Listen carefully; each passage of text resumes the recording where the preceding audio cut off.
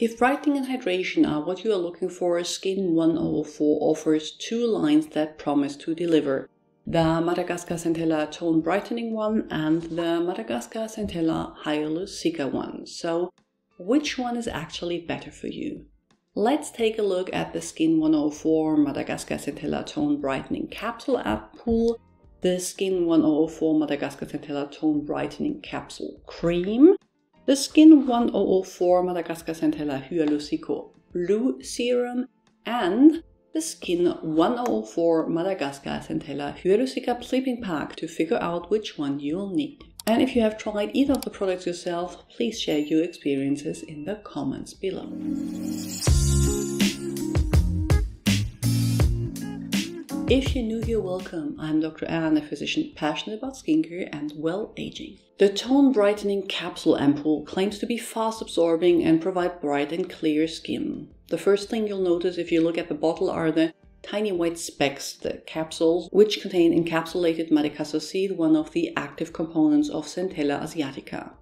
They swim in a clear liquid that, once out of the bottle, is of a thinner gel texture and has no noticeable scent. Despite the gelish texture, the ampoule spreads easily and with minimal tackiness, and yes, you can feel the capsules upon application, but they disappear immediately afterwards. The product can be used morning and night and has minimal tackiness. I used it in the mornings due to the ingredients it contains. Some of them have irritating potential, and I use my tretinoin at night and didn't want to risk problems but have to say that I personally did not experience any issues. Looking at the ingredients, you have Centella asiatica extract at 77%, so as first ingredient instead of water. This is something you'll find for most Skin 1004 Centella products, as well as the Madecassoside I mentioned earlier, packed in little capsules. This is supposed to be soothing and promote wound healing. If you want in-depth information about the individual ingredients, I have a playlist with videos that I will link up here. I can't pack all of that in one video. For brightening, you will find niacinamide according to the website at 4%, which is close to the recommended 5%, then tranexamic acid at 2%, which is what you usually get in skincare, and then 3-O-ethyl ascorbic acid, which is a vitamin C derivative that is more stable than the original ascorbic acid.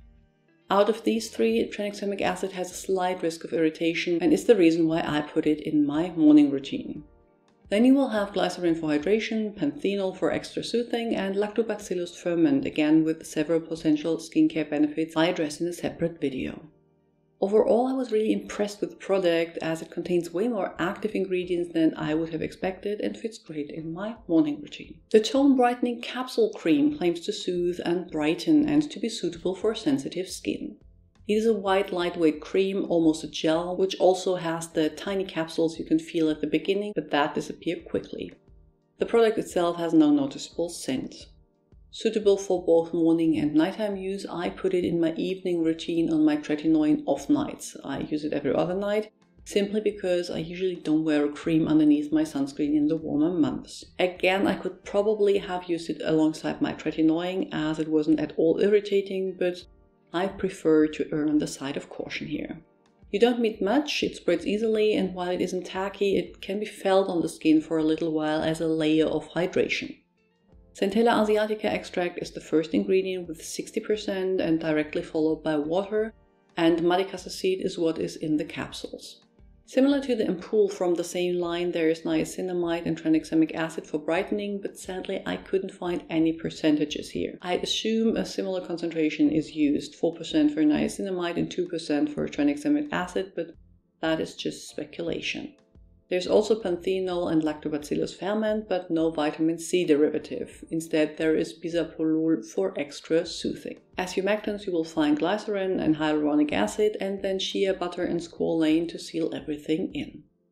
I really enjoy this cream for some extra brightening in my evening routine, but if your skin is more on the normal to dry side, it will be a great addition for your morning routine as well. Missing from the tone brightening line, tone brightening cleansing foam that contains niacinamide, 3-O-ethyl ascorbic acid and panthenol alongside the centella, and the tone brightening boosting toner again with niacinamide, 3-O-ethyl ascorbic acid and panthenol as well as Centella asiatica extract. The tone brightening tone up sunscreen will get a separate review with all the other Skin 1004 sunscreens soon. There are quite a few.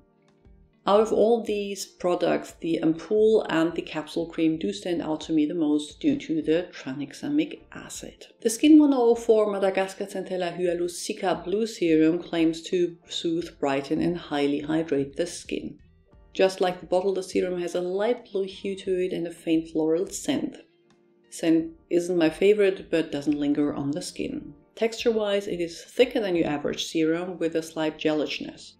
Two pumps is enough for face and neck. The product itself feels very lightweight and spreads with ease, but has some tackiness that stays for the next few minutes. I never had any issues with pilling though. It can be used morning or night or even twice a day, depending on where you feel it fits your routine best. Skin 1004 claims that the whole Hyalu-Cica line has the golden ratio of hyaluronic acid and Centella asiatica without stating further what that golden ratio would be, so it won't surprise that you find several different molecular weights of hyaluronic acid and Centella asiatica extract in the ingredient list alongside various different plant extracts. For additional hydration, there is pantolactone, a polyhydroxy acid. You will find panthenol and allantoin for additional soothing and then one ceramide and niacinamide with its variety of skin beneficial effects.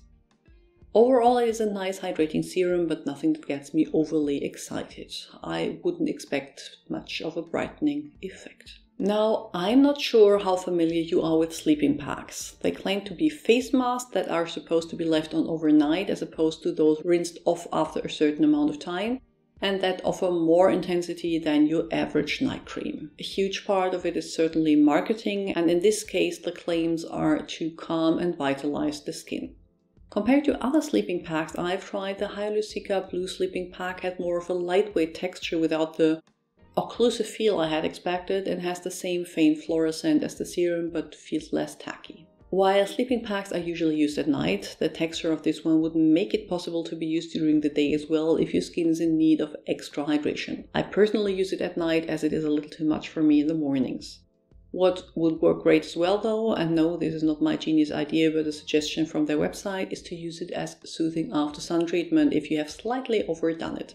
Not that this happens to us, we are all sun smart, but just throwing that out there.